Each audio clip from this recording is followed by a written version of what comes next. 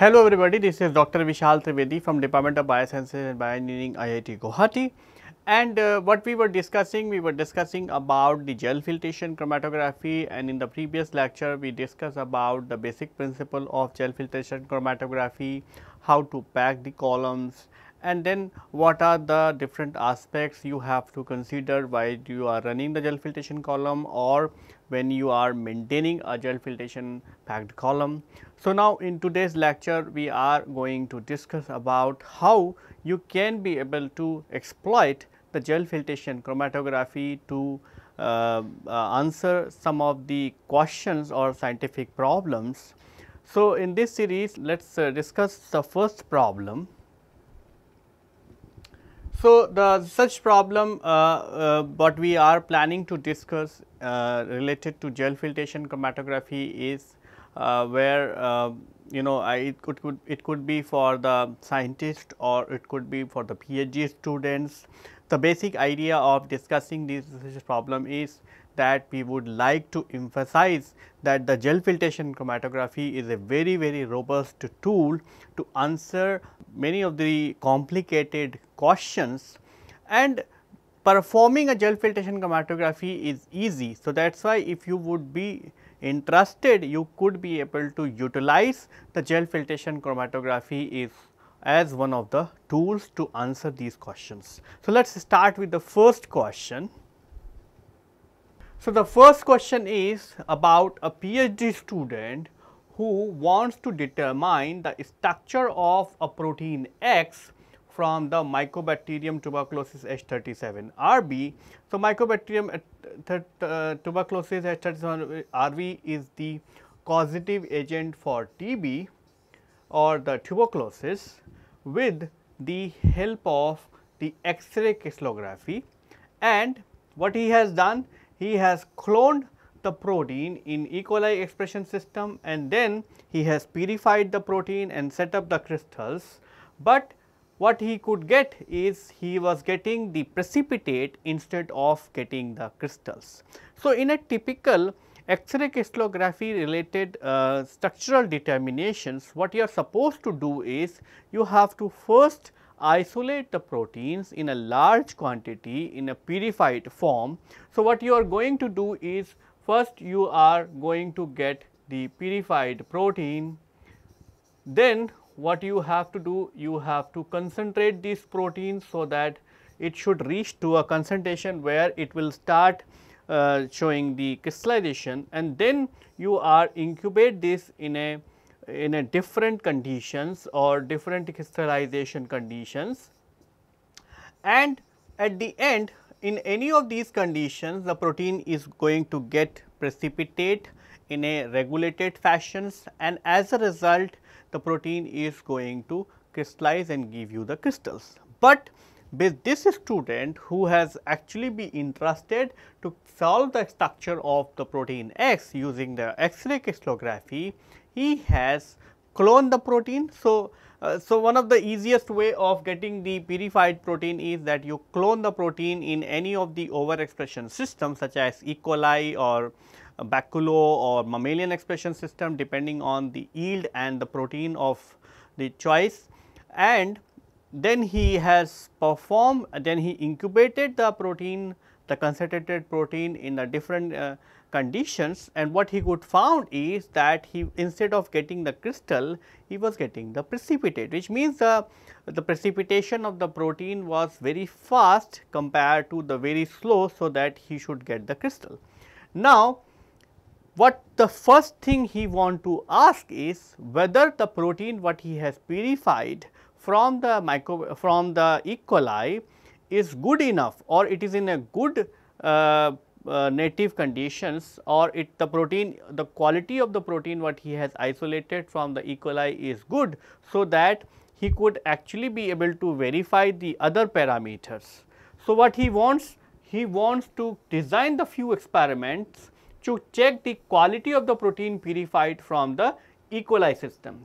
So, what, what do you mean by what we what do you mean by the uh, quality of the protein is that he would like to determine the molecular weight of the protein and then he wants to also ask whether the protein is present in the native conformation and what are the different oligomeric status of this particular protein.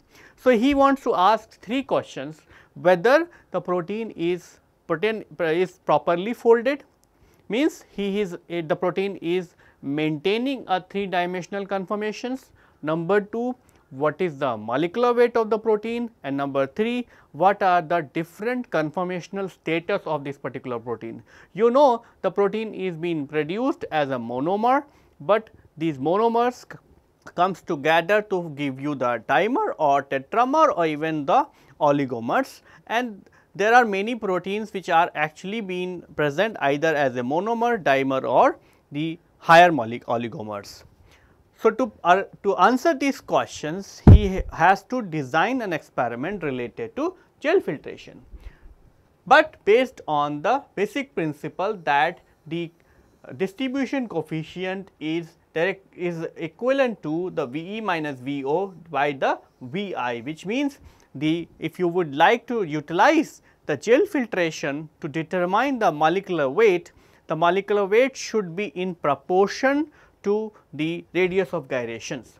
So, the molecular weight and the size of the protein is related to the shape of the molecule and the relationship between the molecular weight and the radius of gyration is Rg is directly proportional to the Ma, where A is a constant and it depends on the shape of the molecule. A is 1 for the rod which means the Rg is directly proportional to the molecular weight a is 0.5 for coils and A is 0.33 for the spherical molecules. So, this means that the molecular weight is directly proportional to the radius of gyrations and because of this uh, relationship you can be able to utilize the gel filtration to determine the molecular weight of this particular protein and also you can be able to determine the oligomeric status as well as the uh, whether the protein is present in the native conformation. So, what is the experimental design? For the experimental design, the first thing what you have to do is you have to run the multiple proteins of the different molecular weight. So, in this case for example, we are running the different types of molecular weight proteins and the then you have to draw a calibration curve between the KAV versus the log molecular weight and that is how it is that calibration curve can be used to determine the molecular weight of the, uh, the, the unknown protein X as well as the oligomeric status as well as the whether the protein is present in the native conformation or not. To perform these experiments what you are supposed to do?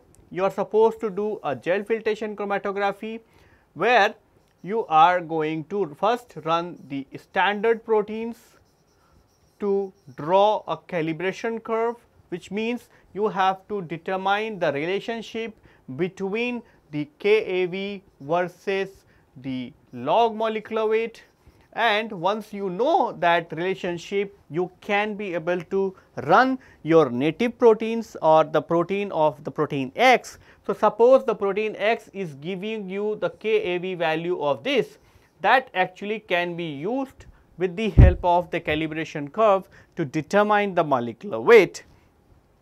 Apart from that you can also run the protein X into the SDS page and that actually will give you the denatured molecular weight whereas the gel filtration chromatography is going to give you the native molecular weight which means what is mean by native molecular weight means is the if the protein is a dimer it is actually going to give you the dimeric molecular weight whereas the denatured molecular weight means it is actually going to give you the molecular weight for the monomer.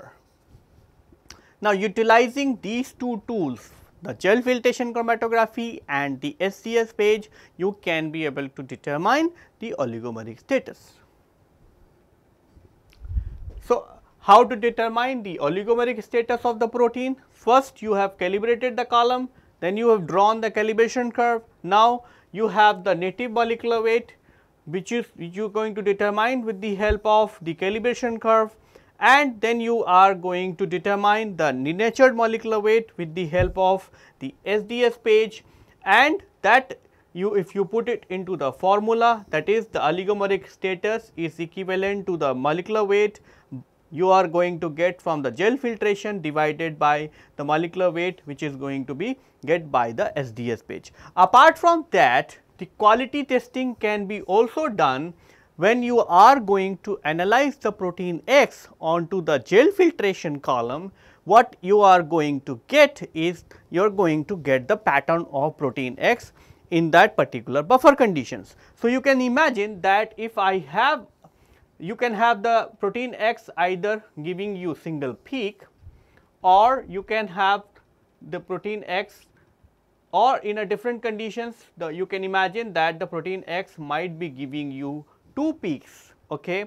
So, then what you can do is you can determine the molecular weight of the peak number 1, you can determine the molecular weight of protein number 2 and if the protein the peak number 1 is uh, of the double the size or higher molecular weight size that means that the protein X is probably be present in the two molecular two oligomeric status which means either it could be present as the dimer or the monomer or the mixture of both.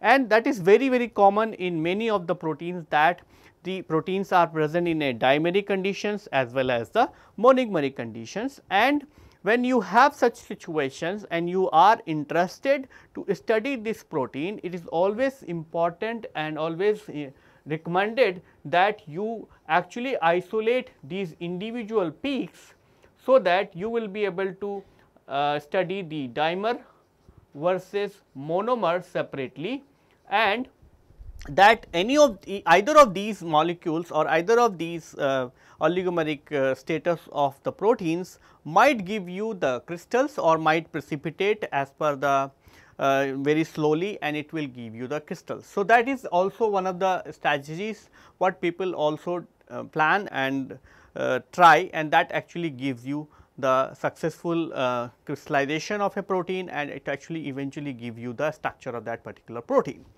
Now, let us move on to the next problem and the next problem is that the protein X is present in 3 oligomeric status. So, here you already know that the protein X is present in 3 oligomeric status, one is monomer, dimer and tetramer which means the protein is present in 3 oligomeric status. This is the tetramer, this is the dimer and this is the monomer. Okay. So, it is already been set that the protein X what you have synthesized or what you have produced having the 3 oligomeric status and now the scientists want to study the stability of this particular protein. So, before get into the detail of the stability of the protein because stability is a very vague term and you can actually have the stability of a protein against multiple uh, parameters. For example, you can have the stability of a protein against the protease treatment, you can have the stability of a protein against the denaturation conditions such as the urea, GDMCL and all other conditions and you can have the uh, stability of a protein against the thermal denaturation. For example, you can incubate the protein at different temperatures irrespective of the conditions except the protease. If you are treating a protein with the denaturating agents or if you are treating a protein with a biophysical parameter such as the temperature or other kind of parameters, it is actually going through a different discrete steps in which the protein which is 3 dimensional conformations is going to denature and going to adopt uh, extended conformations. So, in that process the protein is going to be uh, give you the multiple conformations. For example, you start with the native conformation which is actually 3 dimensionally folded protein. So, that is actually a compact structure it will be uh, you know where the protein is going to actually arrange all his amino acids around a, a center, but as soon as you apply the small amount of urea the protein is going to be partially folded. And as you can see the diameter of this protein is now increasing because you are breaking the interaction between the uh, uh, side chains and even the main chain also. And because of that it is actually adopting those extended conformations and the structure is now opening. So, that is the, the, the diameter of the uh, molecule is also increasing.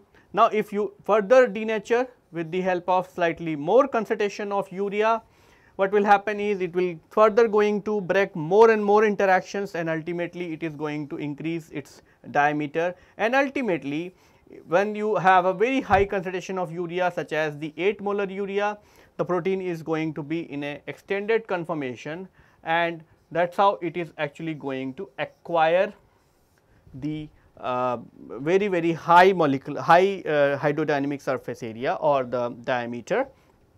Now, if you would like to follow this kind of changes and you would like to use that as a may as, as a way to answer whether the protein is stable or not, what you can do is you can take this protein X and you can perform a gel filtration chromatography to answer these questions. So, in the experimental design what you are going to see is if you are having all these conformations and if you are going to analyze them onto the gel filtration chromum, what will happen is this is the largest size, this is the middle size, this is even smaller than this and this is the smallest among them. So, if you follow this what you will see is that the unfolded protein which is completely unfolded protein is going to be present in the void volume whereas the other three conformations like the 3, 2 and 1. So, 1 is going to be uh, elute as per its native conformation. So, as per the native positions the 2 and 3 are going to give you the intermediate positions and the 4 which is actually the unfolded protein is going to be present in extended conformations. So, that will be completely excluded from the column and it will be present in the void volume. So, that is the way you can be able to design, you can be able to design the experiment and can be asked the answer that whether the protein is more stable or less stable. Because the amount of urea what you are going to use in this experiment is going to determine how much urea is going to require to bring the one position to two position or two to three position or from 3 to 4 positions. The, the amount of urea what you are going to use is actually going to indirectly tell you the how much stable the native conformation is.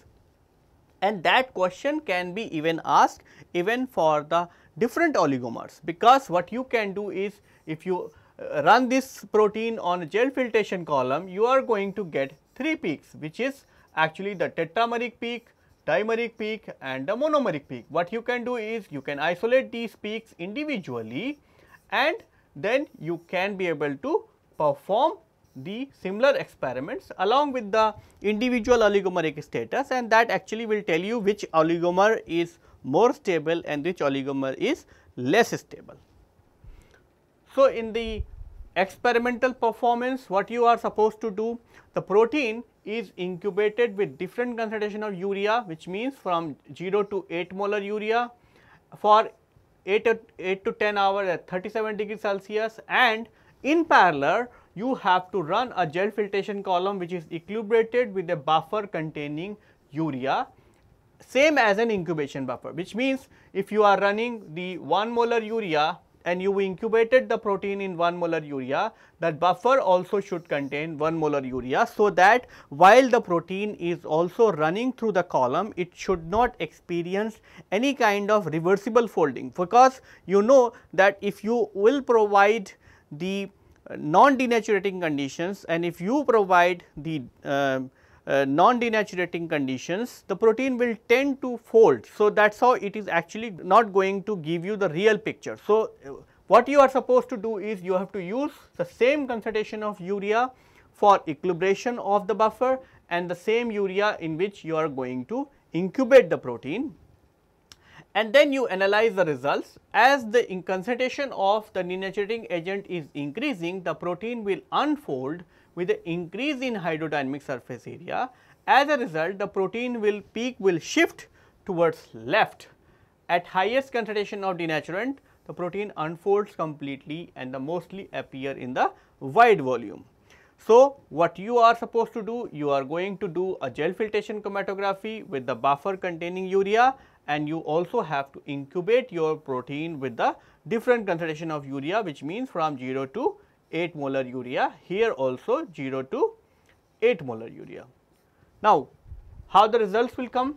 The results will come like this where you are actually initially going to see a peak of the native conformation now, this is at 0 molar urea. One, once you increase the urea concentration, what will happen? It is actually going to shift and going to start going to give you the two peaks. One peak which is for the native protein, the second peak which is for the partially denatured protein. Now, as you increase, so it suppose this is at 2 molar urea. Now, if you increase the further what will happen? You are going to see one more peak, you are going to see one more peak and you are going to see that the native protein is now reducing in concentrations and you are getting the partially denatured protein which is of 2 molar urea and you are getting another peak which is actually corresponding to the 4 molar urea.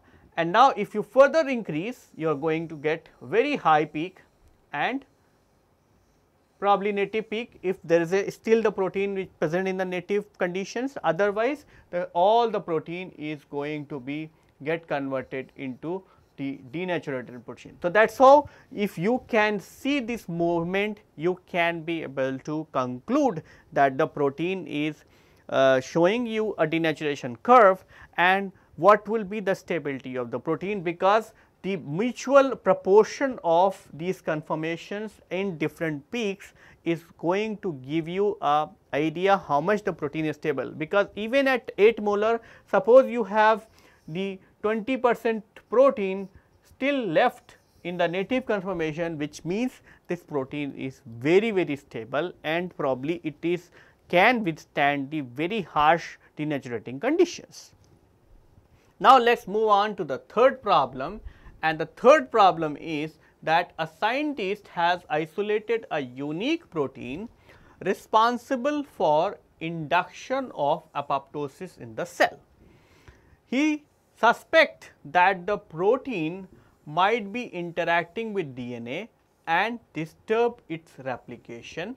Now, he needs to design experiment to study the interaction of DNA with the protein. So, what he wants he has isolated a protein P which is actually interacting with DNA okay, and that is how it is actually interfering or uh, disturbing the replication of the organism and once you are interfering the replication of the organism the, the, the, genomic DNA of that particular organism cannot be synthesized. So, as a result the cell will have no option but to go for the uh, apoptotic pathway where the cell is going to stop its growth and it will go through the death pathway. So, ultimately it will uh, go for the apoptosis. Now, if I have to design an experiment and I would like to answer these questions, if you remember when we were discussing about the ion exchange chromatography that time also we have discussed how you can be able to study the interaction of the DNA with the protein where we have taken an example of a transcription factor and the promoter region present on the uh, on the gene.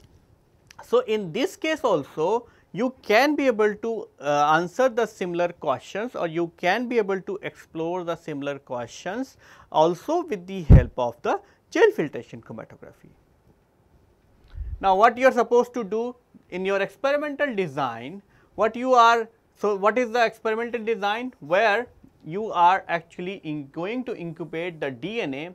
So, when the ligand or the DNA binds to the protein, it induces the conformational changes into the protein and also it increases the molecular weight. So, when the protein is going to interact with DNA, it actually going to affect the first the shape the size of the protein, the second the protein DNA conformation is going to be of higher molecular weight which means you are actually going to you going to study this simply by two ways. One if the conformation of the protein is going to be changed it is actually going to change its position uh, on the gel filtration curve.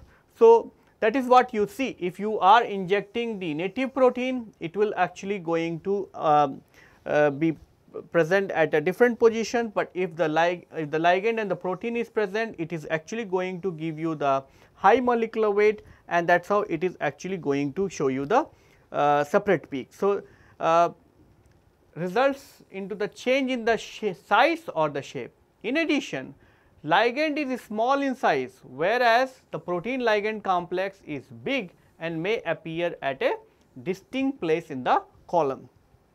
So, this experiment we are showing you only for the DNA, but you can be able to answer even the interaction of the small ligands such as the substrate with the protein also utilizing the gel filtration chromatography because the substrates are very small they are going to be run as separate peak and when they are in a complex with the protein they are actually going to run very separately from the ligand peak and that is how you can be able to understand the interaction of the ligand with the protein. Also the amount of the ligand present in the uh, in the condition B versus the amount of the ligand present in the condition A can be used to ask how much ligand is being consumed to give you the ligand protein complexes. So, if you follow that the ultimately what will happen is you are only going to get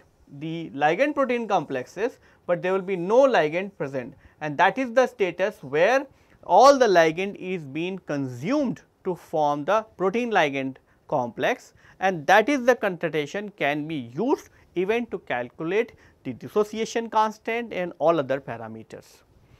How to perform these experiments? You perform these experiments and what you require you need a gel filtration chromatography where you are going to incubate the gel filtration buffers containing the DNA and you have to incubate the protein with different concentration of DNA. Okay. So, what you have to do in the step 1 a gel filtration column is equilibrated with the buffer and the elution profile of the ligand is recorded now, the column is equilibrated with the buffer okay, containing the ligand molecule or if the if the ligand molecule is big for example, the DNA then you do not need to do a equilibration of the column with the ligands then you can directly equilibrate the column with the buffer and you can run the DNA separately, you can run the protein separately and then you can put them together and see where they are actually eluting in these conditions. So, as the concentration of the ligand is increased, the protein binds the ligand and form a larger complex with an increase in hydrodynamic surface area. As a result, the protein peak shoots towards the left. So, in this case what you are supposed to do is you are going to run the 3 gel filtration column first for DNA. So, DNA is very large it will going to give you a peak. The second the protein. So, protein is also going to give you a peak. So, this is for protein and then for the DNA protein. So, in this case you are going to get a intermediate peak which is because here you are monitoring the peak at 260, here you are monitoring at 280 and here also you are going to monitor the protein not the DNA.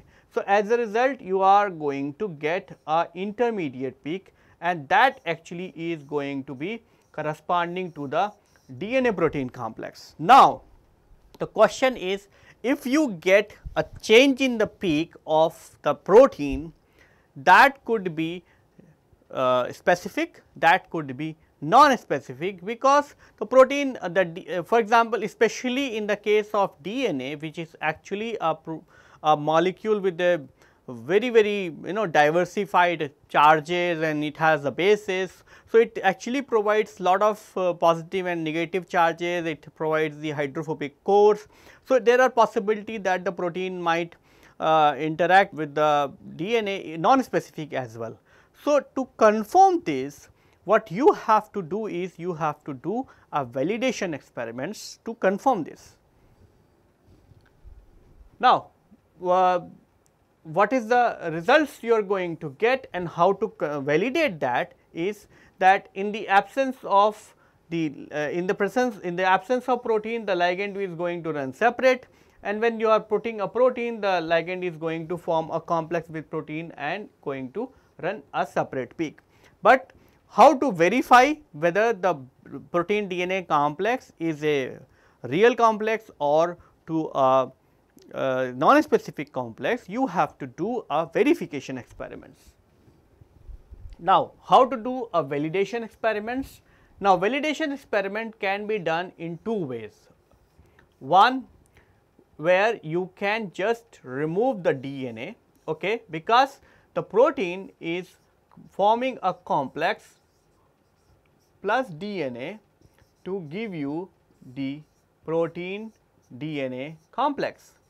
Now, if I remove this, okay, so if I remove this, I should not get the PD complex, okay, which means if I am seeing a peak which is intermediate peak, okay, because this is the DNA peak, this is the protein peak. So, this is the DNA peak, this is the protein DNA complex peak and this is the protein peak. A shift in the peak could be because the DNA is interacting with the protein, a shift could be because some uh, some kind of artifacts while you are running the second time. So, to understand that what you do is you take this complex, isolate it and then you degrade the DNA and run it again. If you run it again, it should give you a peak at the protein positions. If that happens, that actually indirectly will verify that the shift in the peak is because of the DNA. The second thing is because you have isolated the complex, you can also analyze this complex onto a agarose gel and that actually will give you a band for the DNA which you have used for the interaction studies. This is the one approach. The second approach is that because the DNA protein interaction is whether it is in, uh, specific or non-specific, to answer this what you can do is you can simply do a mutational studies. So, what you can do is you can just generate a you know the mutated protein and that mutated protein should lost the binding of the protein to give you the complex and it should also run at the uh, you know the native conformations. So, this is all about the uh, designing an experiment to study the protein DNA interactions. We have also discussed the similar type of experiment when we were doing the ion exchange chromatography and with this let us move on to the next experiments. The next experiment is or the problem third is that the scientist wants to record a CD spectra in water, but the protein is being purified with the differential precipitation of ammonium sulphate and has large amount of ammonium sulphate. The protein is sensitive and degrades during long hour of dialysis. So, he has to design an experiment to remove the ammonium sulphate from the protein. So, what is mean by is that you have a cell lysate okay. This cell lysate they have incubated with ammonium sulphate. So, what happened is that actually has given multiple peaks and out of these multiple peaks one of the peak was containing the protein of your interest. But the issue is and this for this protein he wants to collect a circular dichroism spectrum, but this protein contains large quantity of ammonium sulphate. So, if you contain or if the protein contains the large quantity of ammonium sulphate, uh, uh, it actually is going to interfere with the uh, it is actually going to interfere with the further analysis and getting the uh, proper CD spectrum. So, what you have to do is you have to do a desalting or the removal of the small molecule from the protein is important for activity assay and other downstream processing. So, what you do is you load this protein uh, which is uh, having a complex with the ammonium sulphate and if you run it on a gel filtration the protein is going to be run separate and the salt is going to be run separate and you can be able to do that simply by running uh, by uh, performing the uh, chromatography in a very very small column. So, one of the column which is called as the NAP-10 column. So, these are the commercially available NAP-10 column which you can use to desalt the protein. You can remove any ligand which is of a smaller size. So, when you load the desalting column onto the NAP-10, uh, so you can get the protein separate and the salt separate because what happen is a gel filtration column is equilibrated with the buffer of water okay and then the sample for desalting is loaded. After the run the protein and the salts are eluted separately as a peak.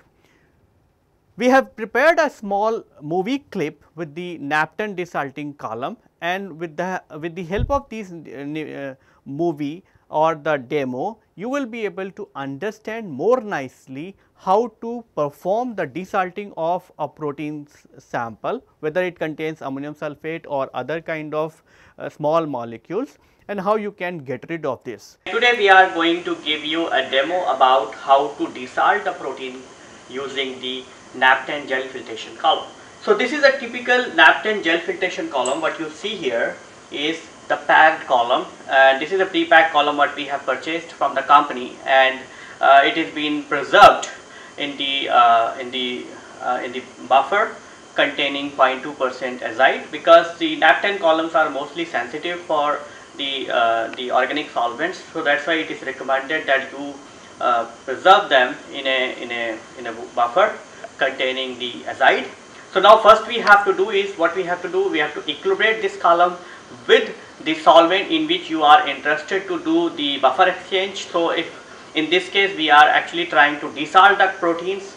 So uh, what we are going to do is we are going to equilibrate this column with the water and then we are going to load the protein with the help of the buffer itself and then we are going to load the protein into this column and then we are going to start collecting the fractions and then that's how it is actually going to remove the salt from the protein.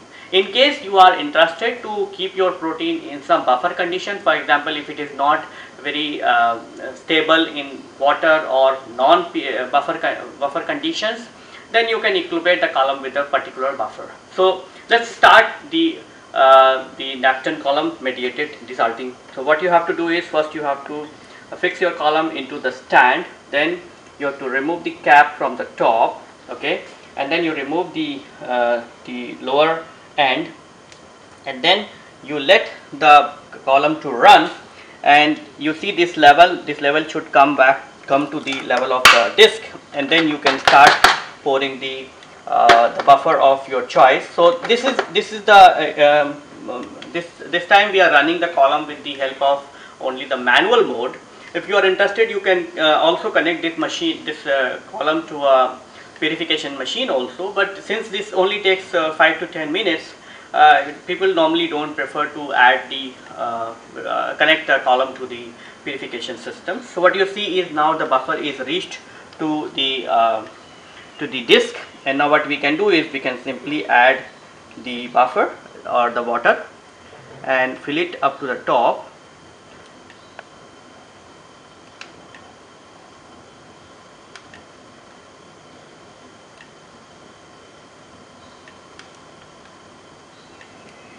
So while you are adding you have to ensure that there is a smooth flow of buffer from the lower end of the column.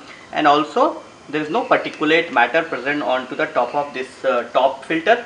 Because that top filter is being kept simply to uh, avoid the uh, you know the exposure of the column material to the particulate matter or the aggregated proteins. So uh, uh, that is so that's why the it actually protects the column from getting any kind of damages. So let's uh, first do the equilibration and then we are going to load the sample and then we are going to tell you the, uh, the further downstream uh, procedures. So now what we have done, we have equilibrated the column with the 4 to 5 column volume of the water or the buffer in which we are want to do the buffer exchange of your protein. So what you see is now the level is going to the uh, to the disk and in between what you have to do is you have to prepare the sample. So in this case what we have is we have the 0.5 ml of the protein. So whatever the protein solution you have, you have to bring the protein solution to 1.5 ml. So what you can do is just simply add the water or the buffer whatever you are interested. Uh, so add it so that it is going to be 1.5 ml and then you can just load that. So you can now you can see the level is reached to the disk and now what we can do is you can simply mix the solution first and then you load it onto the protein onto the column. Okay? And you have to wait for this protein solution to get into the column.